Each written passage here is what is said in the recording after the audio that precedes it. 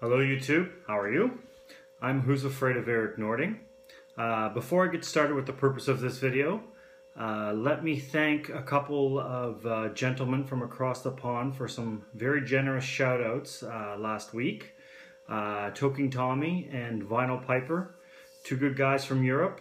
Uh, if you haven't subscribed to their channels, you should be. They're two interesting guys, so thank you very much gentlemen for the shout outs. And I also want to thank all my new subscribers to my channel. I think I'm up to about 119, which is a lot more than I thought I'd ever get. Um, so thank you very much and welcome to my channel. Um, I'm going to do something a little bit more unusual today.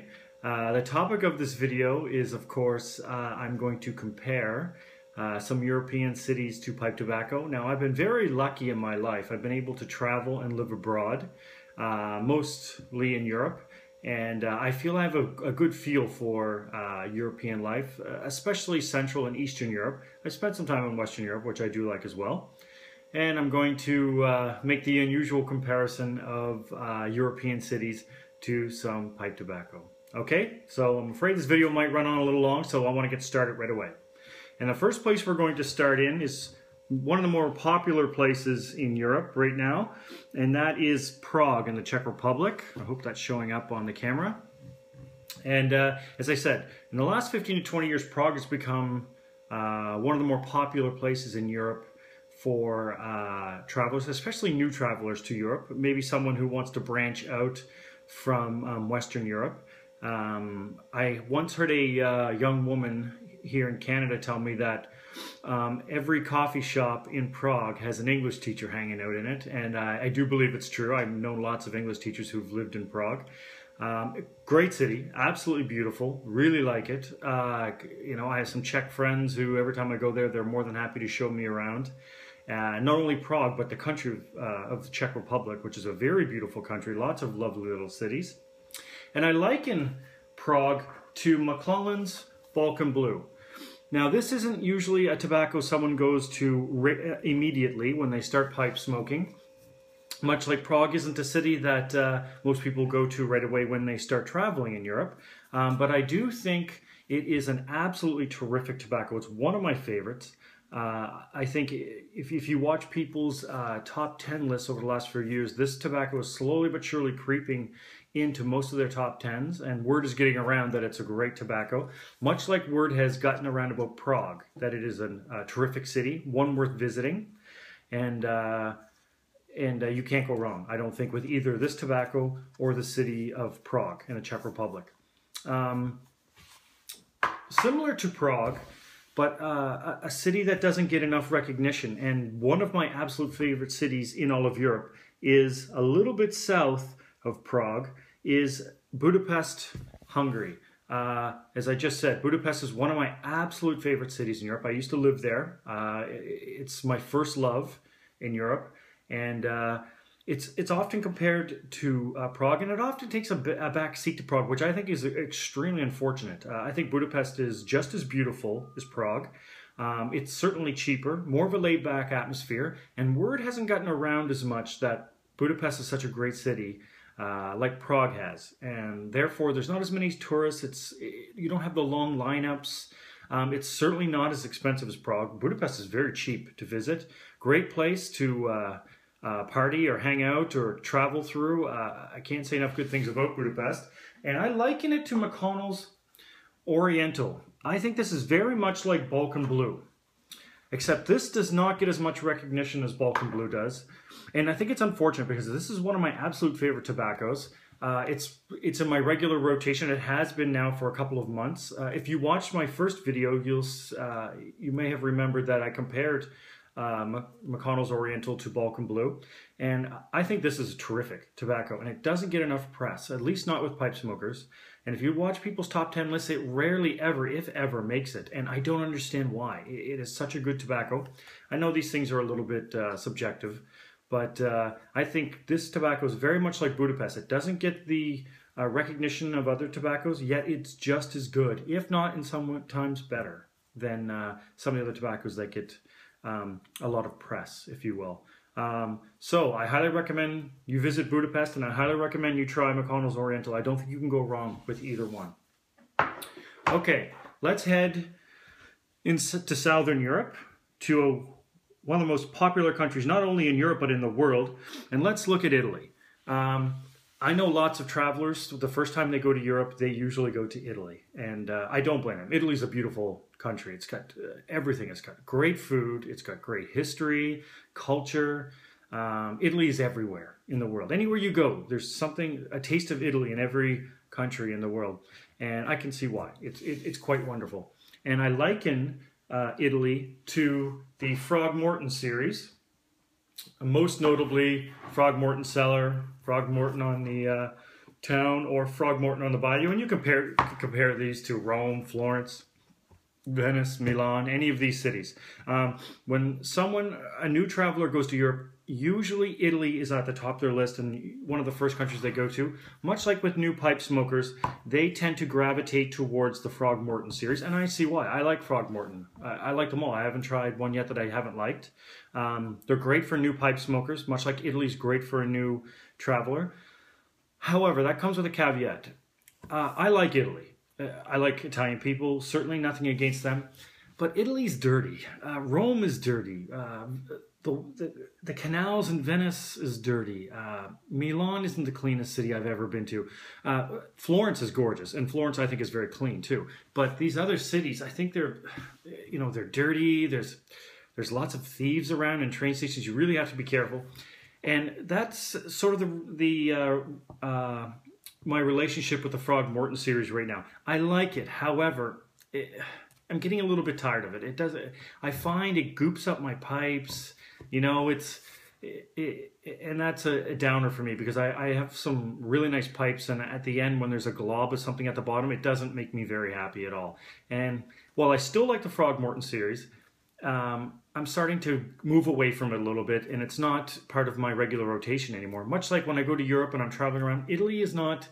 I mean, I like Italy, and but it's it doesn't uh, it, it doesn't do it for me anymore, and I. Uh, and I can't say I'd never visit Italy again. I would certainly go there again, but it's not in the, the top of my priorities for Europe. Okay, let's move to Western Europe, to another extremely popular country, and one I like very much. Let's take a look at Spain. A few years ago, I met a very attractive young Spanish woman here in Canada who told me that if I ever go to Spain, um, I should uh, go to Madrid. That uh, most people, when they go to Spain, they go to Barcelona and they love Barcelona. Barcelona is a great city, but in her opinion, uh, she was from Madrid, of course. She said Madrid, she thinks it's a better city and she doesn't understand why um, Barcelona gets all of the attention in Spain. And uh, I agree with her completely. And I liken it very much to Rattray's, uh, some of the Rattray's blends, most notably Marlin Flake, which I compare to uh, Barcelona. It's a terrific tobacco.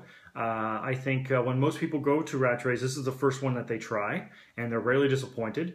Uh, much like when people go to Spain, the first place they visit is usually Barcelona, and they're rarely disappointed. I've met a few people who don't really care for Barcelona, but in general, most of the people I know uh, adore Barcelona, and most people I know adore Marlin Flake, and I don't think you can go wrong with either one. However, uh, I prefer Madrid.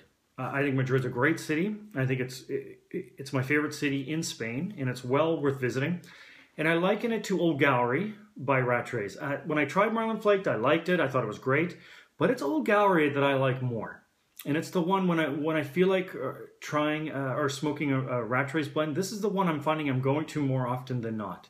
And uh, much like when I go to Spain, I simply prefer Madrid. I think it's it's the better of the two cities. And uh, and if you haven't been to Spain, uh, I highly recommend going there. Spain is it's gorgeous. Uh, ever since I uh, read uh, George Orwell's book uh, Homage to Catalonia or a lot of Ernest Hemingway short stories, it made me really want to go to Spain, and I I never regret going there. It, it's a terrific country, great people, and much like Rattray's blends, you can't go wrong with them. All right, let's move to somewhere a little bit different. Let's go to back to Central Europe, very close to Prague and uh, Budapest, and let's go to a city I like very much, and let, uh, to Vienna. And uh, much like Vienna, um, I liken uh, uh, Vienna to uh, GLP's Gaslight, and here's why. The first time I went to Vienna, uh, when I was living in Budapest, I went over for a weekend. I thought, why am I not living here? It's absolutely gorgeous. The cobblestone streets, the the I don't know. It, it's just a very romantic city. It it's got uh, these great little cafes, and uh, it, feels like you're stepping back into the 19th or 18th century. Um, I really liked Vienna, and uh, it's very clean. It's very relaxed. As I said, it's very safe. Um, and it's much like Gaslight. The first time I smoked Gaslight, I thought, why? What has taken me so long to smoke this tobacco? It's absolutely terrific.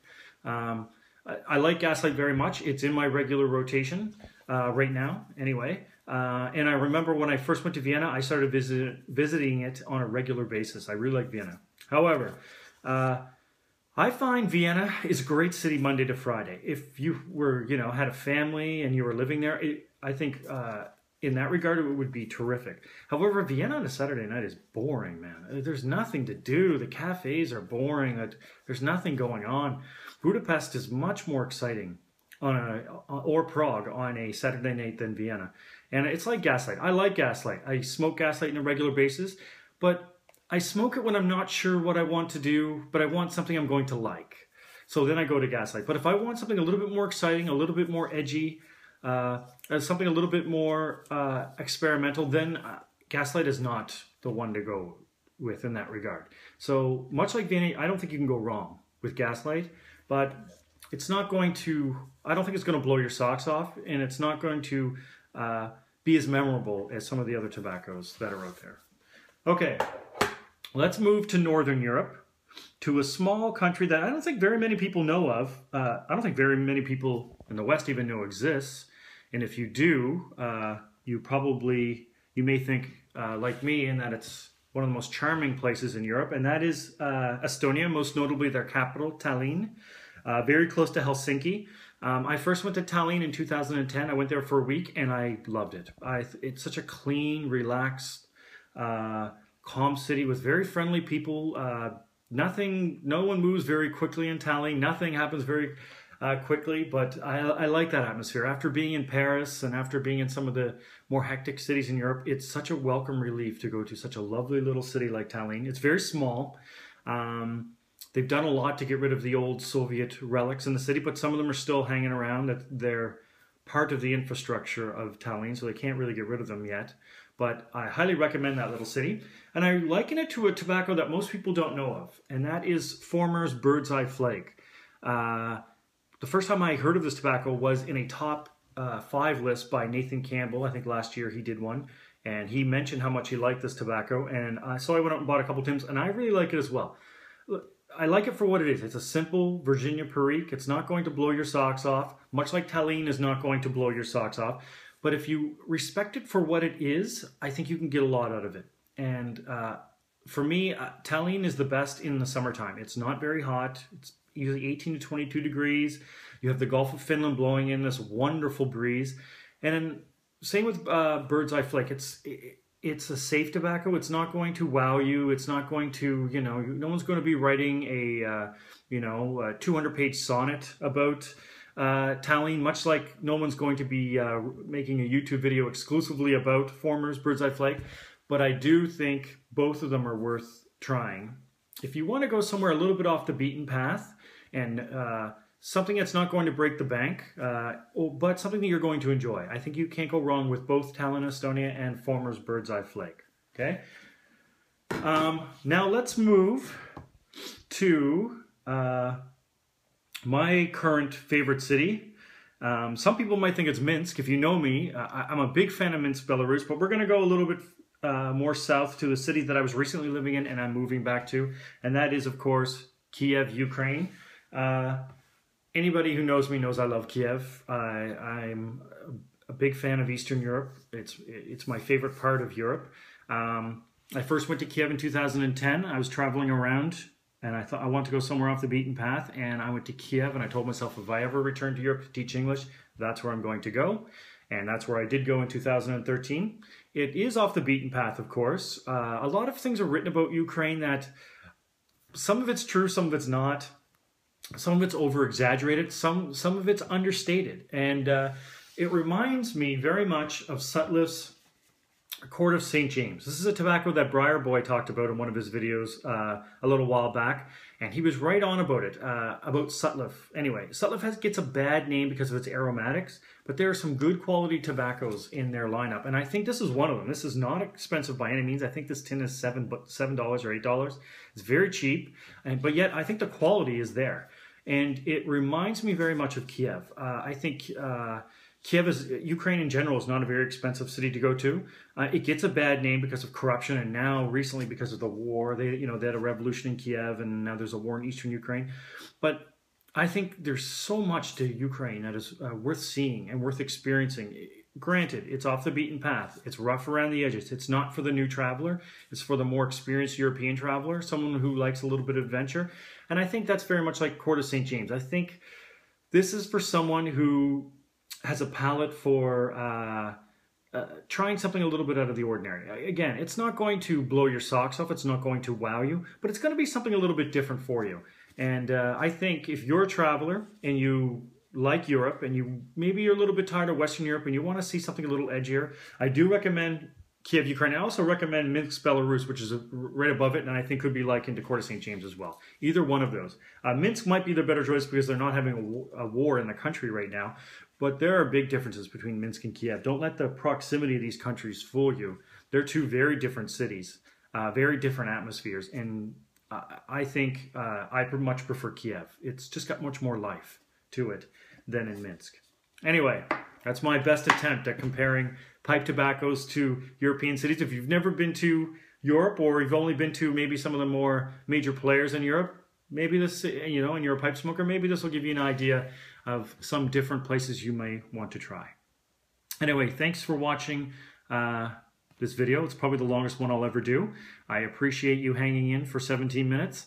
And I uh, thank you once again to all my subscribers, all my new subscribers, and Toking Tommy and Vinyl Piper. Once again, two good guys. Make sure you sub their uh, channels, okay? Have a good day, guys, and I'll talk to you very soon.